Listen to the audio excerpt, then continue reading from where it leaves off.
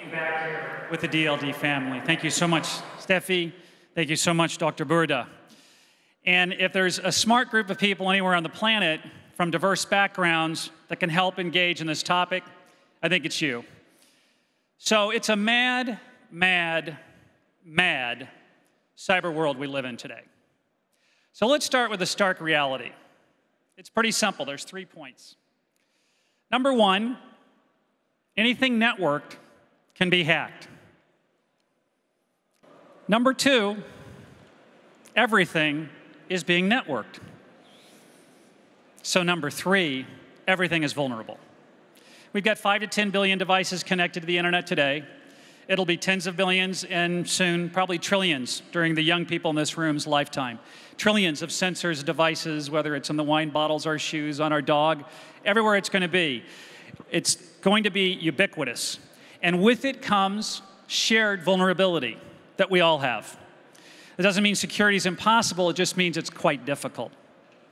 So, now how are we going to think about this new world? And if you just remember those 12 worlds, whenever you think about cybersecurity, internet security, you go back to it, you'll have a picture.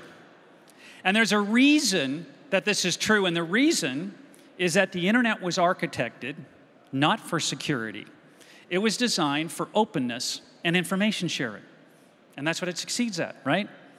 And we all love the internet, and it's spreading because of that. So it was never designed for security. So, how are we going to think about this internet? Well, what I want to present for you is a model for you to consider, which is that this is a mad, mad, mad world. There's three mads. The first is nuclear mutual assured destruction. With the invention of atomic weapons at the end of World War II and their tragic use, we came into a new world where mankind has the ability to potentially completely destroy itself.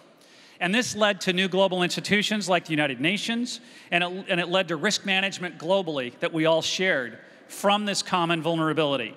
This framework is still with us, and it affects the cyber world that we're living in. It's nuclear MAD.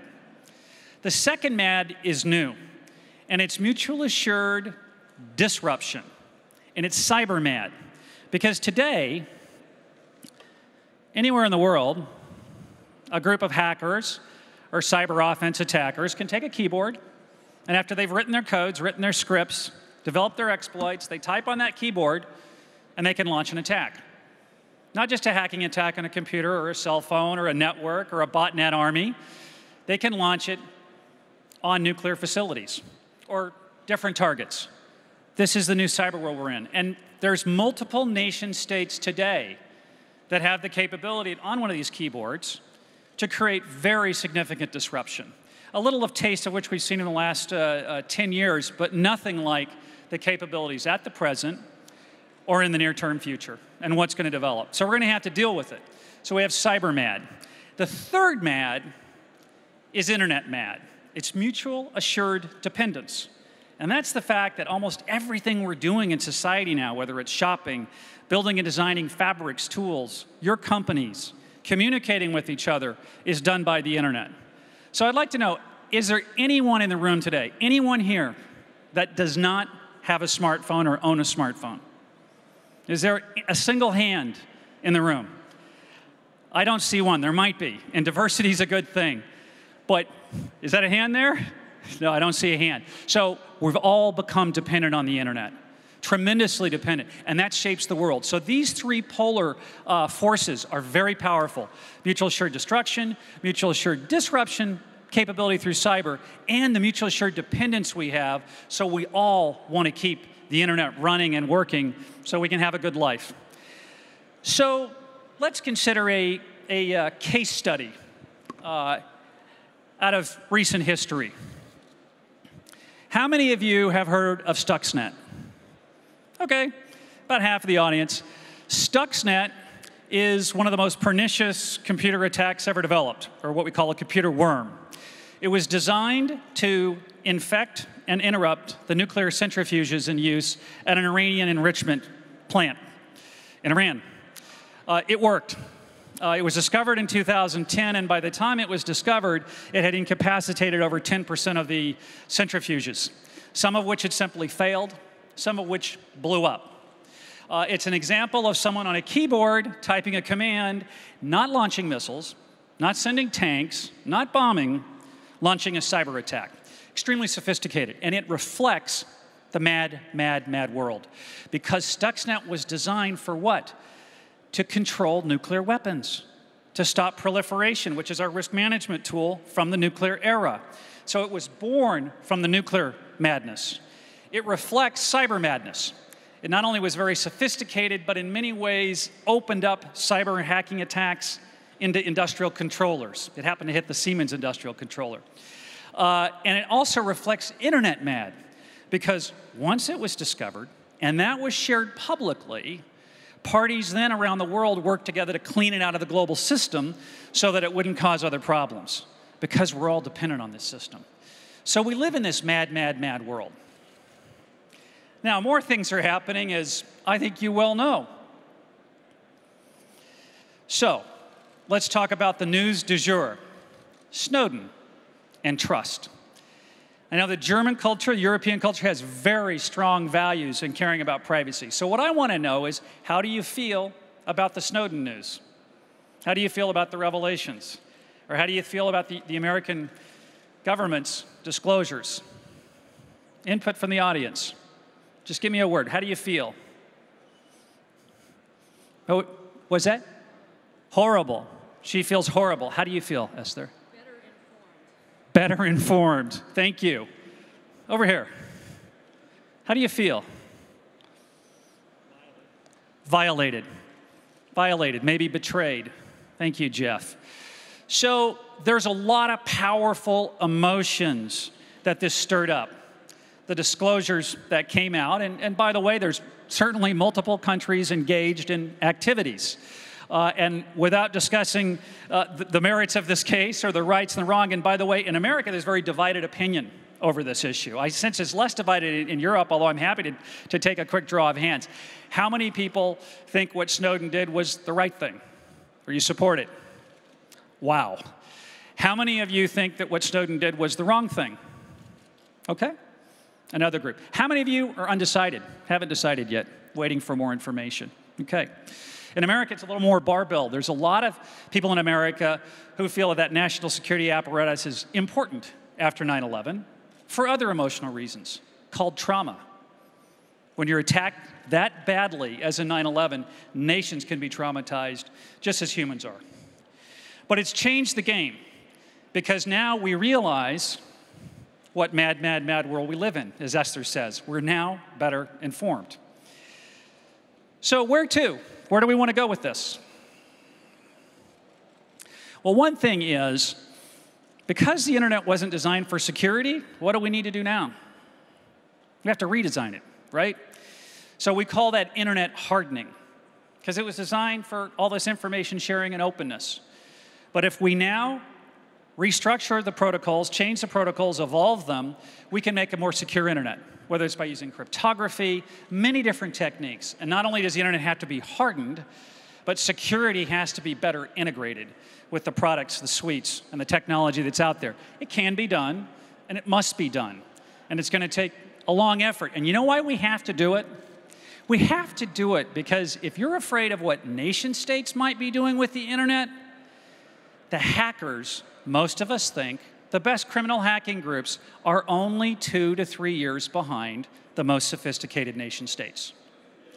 So, whatever you're concerned about that large governments might be doing in different parts of the world, the same capacity can come out of the hacking community. I'm not talking here about the hacktivists, I'm talking about criminal hackers or other groups or even violent uh, uh, hackers.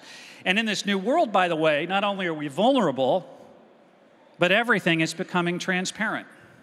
So, governments can watch citizens, and citizens can also watch governments. And that's a mantra we hear from Anonymous. It's a mantra we hear from Chaos Computer Club here in Germany uh, that's very active and uh, around the world. And to the extent their activities are legal, uh, how can one argue with bringing more clarity to what governments are doing? Um, so we have to harden the internet, and that's going to take a lot of thinking, and I, want to, I believe in the Schoendorf model. I like what Joe set up here, which is that the beauty of crowdsourced solutions is you don't know where the genius ideas are going to come from. And these standards are developed by the Internet Engineering Task Force, a global open community, multi-stakeholder community that develops the technology. They're working on this problem, and that group is chaired by a European. W3C, other groups are involved and working as well. Privacy. Who controls what data? And how fortunate am I to speak here in front of my friend uh, and our honored commissioner of the European Commission, Viviane Reding, who's working so hard on data protection laws and guideline and privacy for the European Union and in the global discussion. And I remember a conversation I once had with Viviane, who is such an open leader, asked me, she said, Rod, what's the solution for privacy? What can we really do here? What's your recommendation? You know what I said? I'm not really sure I have the answer.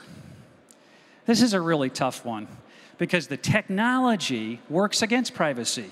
The technology promotes transparency, information sharing, which makes policy work for privacy all the more important. So, and I commend her for her willingness to take on these challenges with such a, an open mind. But we've got to figure it out. None of us have figured this out. This is like the nuclear landscape of the 1950s or 60s when everyone was saying, oh my God, we could destroy ourselves.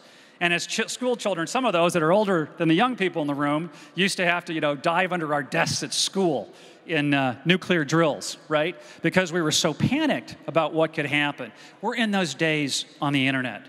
We don't have the solution. We don't have the international agreements. We don't have the technology. We don't have the understanding yet to bring uh, more privacy and more security of the internet. So we've got to, we've got to work on it. But since I had the dinner with, with Viviane, at least one idea I had, and, and it's been reflected uh, somehow in some, some countries and policies, but is a right to know. I know the French president talked about the right to forget, but the right to know is the concept that you as an individual or as a citizen should have a right to know what information a company has about you. Simply the right to demand it. If you can prove who you are and you have the credentials, what is all of the data that that organization has about you? Now, if you had that right, and some people used that right and got the huge data dump, they'd start figuring out how much data is being gathered, and corporate behavior would change and government behavior would change as well. And there's some rights like this actually in the US government, uh, in, in the US side right now. And there are different places around the world.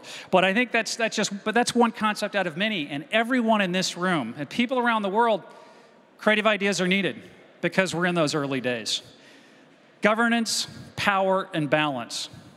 So the internet as this decentralized network with hyper transparency is pulling the rugs out on old government structures whether it's in, and, and making them stronger. Whether that's in most of the Western world with Twitter and Facebook, all kinds of online uh, communities, or in China with 500 million users, 500 million on Weibo, and tens of millions sharing their view of where politics should go, or saying where the potholes are, or where the corruption is. It's changing the world, it's changing the shift of power, and we have to figure out how to incorporate this and I think the internet can be an incredible tool for us. And the cybersecurity issues that are bubbling up are challenging government institutions and international collaboration. And that's why the President of the United States spent 40 minutes in a focused address three days ago to discuss this specific issue. And finally, it relates to internet governance, because with the concerns about surveillance, the concerns about what's our privacy, some trust has been lost in the system. As Jeff and others mentioned, people have a sense of betrayal. What we don't want to do is throw out the baby with the bathwater. The reality is the internet governance institutions, and by the way, ICANN is only a, a coordination body for the domain name system and network addresses and unique identifiers uh, that I was involved with. The internet's ecosystem is extremely decentralized, and there's only one part of it that has a, a different tether to the United States government, and that's the I ICANN that Esther was a founding chairman of, uh, and I served as CEO for three years, and it has two contracts with the US government. I signed both of them. I negotiated them with the government when I was running ICANN, and I'm proud we made great progress on the affirmation of commitments with a lot of support from Europe. We didn't make as much progress on IANA. And that con second contract needs to be evolved in some form to help the internet become more truly international and for ICANN to become the independent body it was always conceived of being. But what we don't want to do is hand over that internet coordination to multi multilateral government institutions or national government institutions like the United Nations or individual countries, all of whom would like to grab the internet and try to seize control, I think much to the harm of citizens and, and your companies. So, in summary, it's a mad, mad, mad world we live in. And this, these new dynamics are describing the system, mutual assured destruction we still have, mutual assured disruption through cyber, and mutual assured dependence. And I hope that working together, we can all bring some sanity to this mad, mad, mad world. Thank you.